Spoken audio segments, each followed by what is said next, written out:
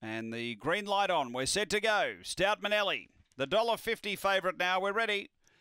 Racing, Stout Manelli out quickly. He's going to push over and grab the front. Moving up quickly, Terrific Keith. So Terrific Keith leads them out of the straight. Stout Manelli right where he wants to be, booting up underneath. A couple away came He's All Purpose and then Jack's Well down the back. Terrific Keith led by three quarters. Stout Manelli the inside, moving up to challenge. Three away, He's All Purpose, then Jack's Well. Stout Manelli driving through, takes the lead from Terrific Keith. Jack's Well makes ground. Stout Manelli straightened in front, pulling clear uh, through to second. Jack's Well but Stout Manelli too good by three. Jack's Well second. Terrific Keith third, and he's all purpose. The time here is around 30 and 10.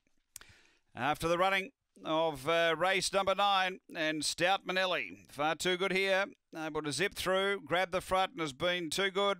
It's uh, 5 2, and third home is number eight. Fourth home is number one.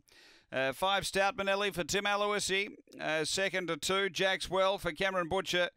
And third to eight, terrific Keith Rossi Chegia. 5 2 8 1 after race nine at Angle Park.